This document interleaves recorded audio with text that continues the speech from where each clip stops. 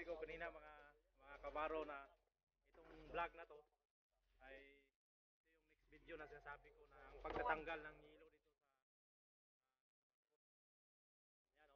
busy busy sila. Yan. Yan oh.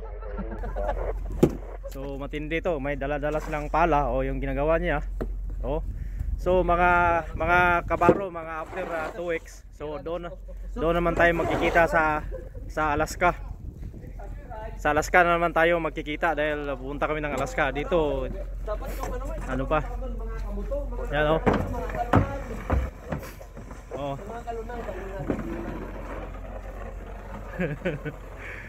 Grabe yun oh.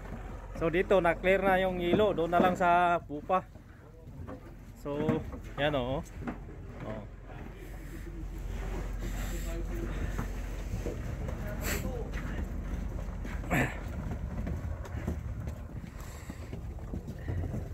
So talagang sina, ano talaga nag nag ano yung mga trupa dahil siyempre pang ano to eh safety.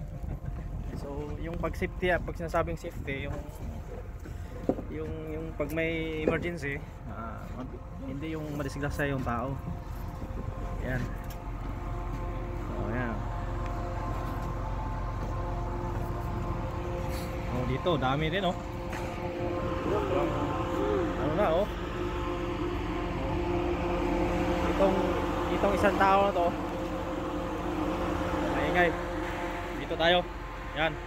Mga kabuto. Mga ano to? Yan oh. Mga masipag na tao to. Kita mo, tinatanggal yung ano. So, yung nga sa sunod ko na video, sa vlog ko sa sunod doon naman sa Alaska, pero ito ngayon, Oh, pasakali lang muna to sa mga ano, in preparation. Wala, wala, wala. Wala,